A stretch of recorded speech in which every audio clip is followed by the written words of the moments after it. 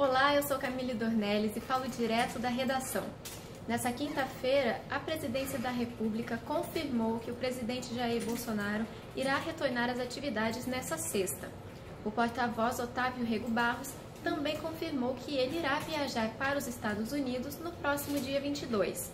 Bolsonaro está internado desde sábado em um hospital de São Paulo por causa de uma cirurgia realizada no domingo. Com a greve nacional dos Correios, os compradores começaram a ter medo de não receberem suas mercadorias, mas os clientes possuem direitos para não saírem no prejuízo, como o ressarcimento do dinheiro gasto pela mercadoria e também a obrigação das empresas de encontrarem um outro meio de transporte para elas.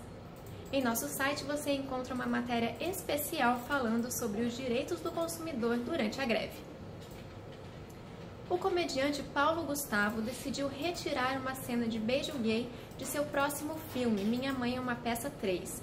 A trama irá apresentar um casamento entre homossexuais, mas a cena do beijo foi retirada por medo da reação do público.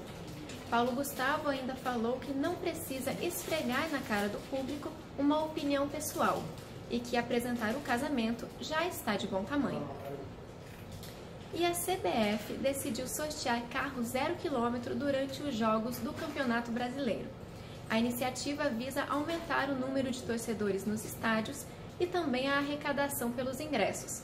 O primeiro jogo com o sorteio será neste sábado, entre Palmeiras e Cruzeiro, no Allianz Parque.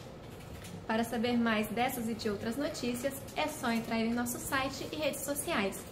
Inscreva-se para ficar sempre bem informado. Pleno News é notícia de verdade.